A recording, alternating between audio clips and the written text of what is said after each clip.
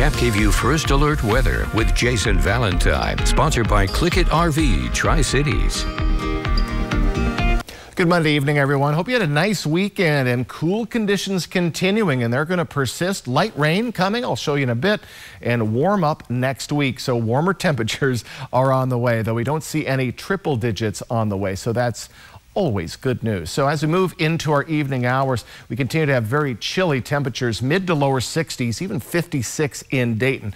And we knew that today was going to be our coolest day of the week. So we're going to slowly start to get back to right around average, which is 80 degrees.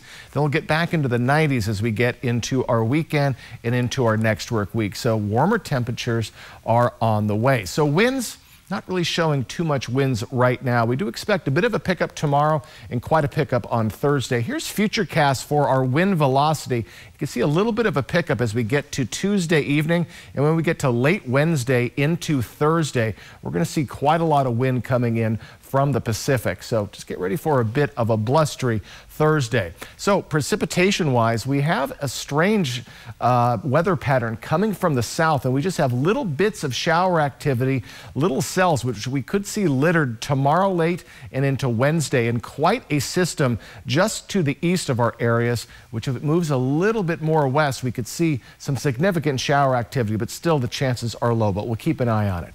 Overnight tonight, we're in the mid to lower 50s to mid to upper 40s and look at Ellensburg at 40 degrees. Goodness, it is going to be a bit of a chilly night.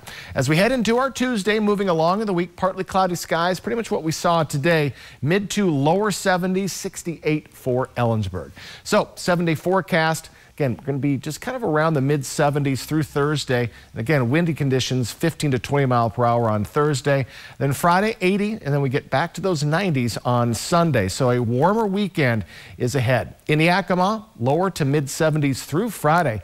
And we do have chances of showers Friday and Saturday, and then warmer temperatures as we head into Sunday in our next work week. So tomorrow we're going to be a little warmer than we're seeing today, about five or so degrees, and then get ready for warmer temperatures, but maybe a little bit of shower activity as the week moves on.